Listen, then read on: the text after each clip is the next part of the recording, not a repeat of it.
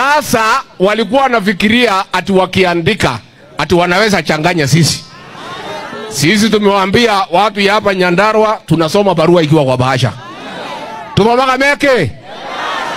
There is a story which was appearing in the headlines, and it was a story about President Uhuru Kenyatta in the Gema community and Rigathi Gachagua in the Gema community, and then they bring William Ruto as the man in the middle.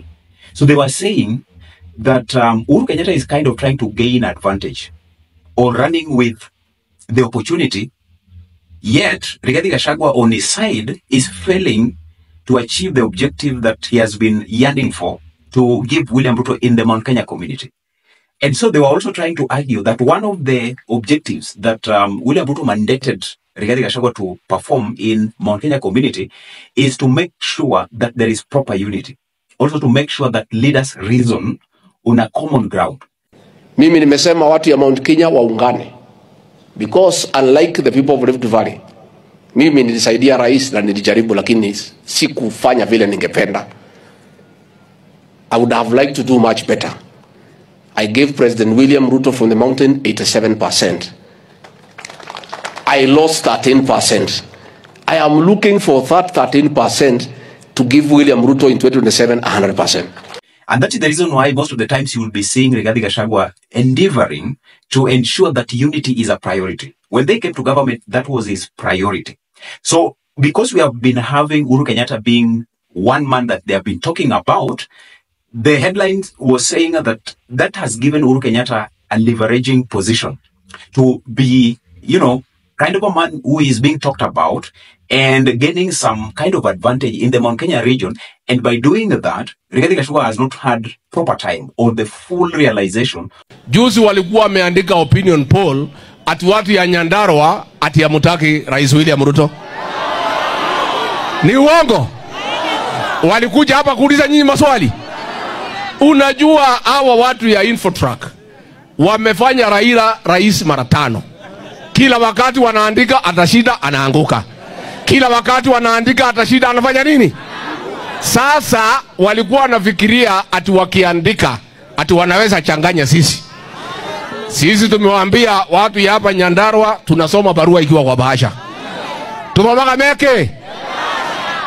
Nyinyi muko na huyu rais wetu, kazi anaendelea haiendelei? Rais wetu, tunataka kukuhakikishia wewe, panga kazi yako. Wenye kukuchagua ni hawa, na hawa wanajua uko na mpango na wanakuvumilia, si ni pole pole una today's uh, development tour actually prove the worth of it. And also, you remember he met uh, the Jubilee leaders and MCS, um, you know, and, and, and they deliberated on the way forward. Actually, he posted it and he made some serious statements. Most of the times when he meets them, he will always be banking on the kind of statement he tells the public and what he really yearns to get out of it. So in everything that is happening, the information that has reached the desk of the President William Ruto is that for the Mount Kenya community, if he doesn't make a stitch in time, then he's not going to save the nine. You know, if he doesn't get a moment to counter the moves of the opposition, and you, you might have realized that one of the opposition that William Ruto is facing is the Gema rebellion. And the Gema rebellion is very key for him. And at the same time, he needs to take more effort to that region because the man that he actually fronted to make sure that his things will be flowing without any hindrance is not has not actually attended that. So this meeting that they held today, I want us to look into it a, a little bit and then we call it a time.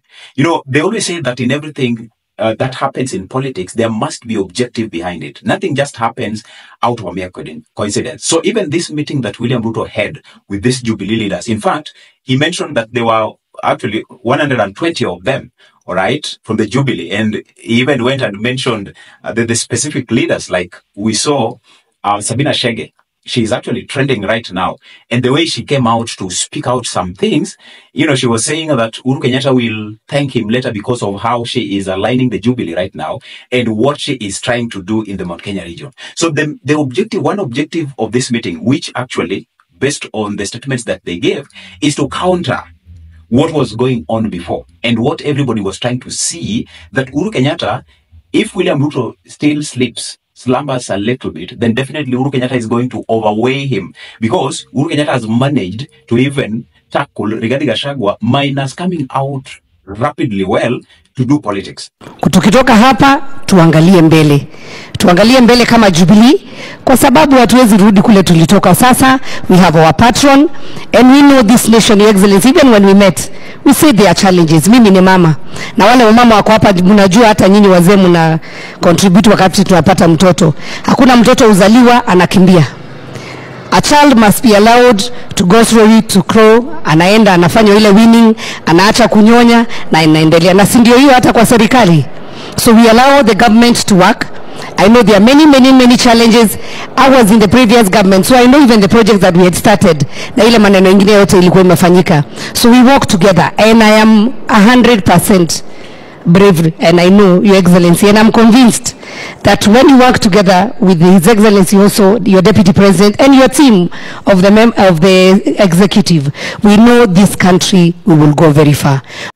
because uh, Riggy G has not had the opportunity to champion for the thing that William Ruto wanted. So the moment he governs, uh, I mean, he galvanizes these leaders, the moment he goes down with them and sit uh, down with them to forge a way forward, you know, that is the moment we are seeing the narrative is changing.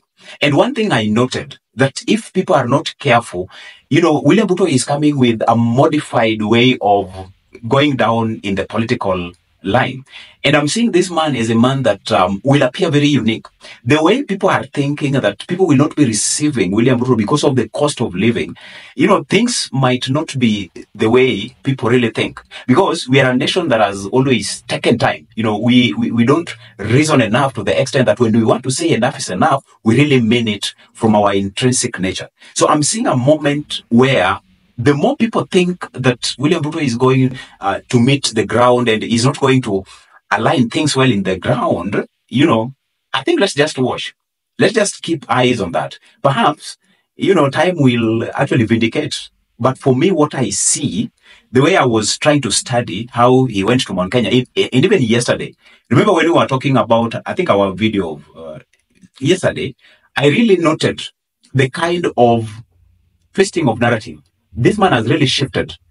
And the moment he will be in Kenya, okay, if he will not be prioritizing visiting other nations, you know, left, right, center, this man is going to play relational politics. He is going to take up on it, and it's going to be one of his biggest moves. And the moment he starts it, we need to be very serious. The opposition needs to be very serious. In fact, I was looking at um, the opposition. I'm only saying it is ODM that is coming up with, um, you know, program on the schedules to make stops in different counties. I'm not seeing the likes of Kalonzo Musyoka. In fact, Kalonzo Musyoka only aired his opinion when Kenyans were, you know, lamenting on the increased token rate, okay, by 16%. Right now, if you pay a token for 100, instead of getting four, you are now getting three. So you can see that. And Kalonzo Musyoka came out to air is, is, is, his disappointment. And people were telling him that, you know, boss, you need to come out. Don't, don't, don't stay in that cocoon.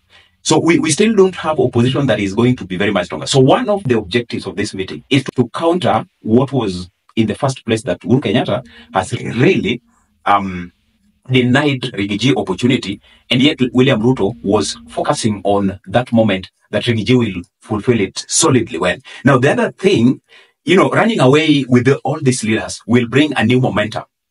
You know, this is politics and we are dealing with the political landscape. You will not be trying to convince me that when William Ruto with, moves with all these leaders, the grassroots leaders, when he takes them and, you know, gives them opportunity to go and convince people, you will not be telling me that, you know, people, the opposition leaving the people on their own, you know, people will try to reason on independent basis. It is never like that.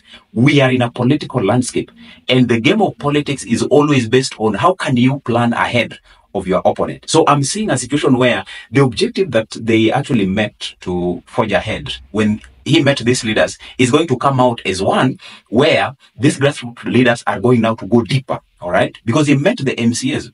He met the people that are really connecting with the ground. And 120 of them are a lot. That's a good number. So if you talk of a narrative that is supposed to change and to be what I always call sako kwa bako with the people, then I think he's really fashioning himself. So this weapon that William Ruto uh, was actually fashioning, well, you know, preparing for his twisted narrative in the Mount Kenya region, we need to realize and we need to be very careful with it. Otherwise, this man is going to run away with the opportunity. What do you think, ladies and gentlemen? What do you say? Let me, let's meet next. I'll see you. Have a great moment.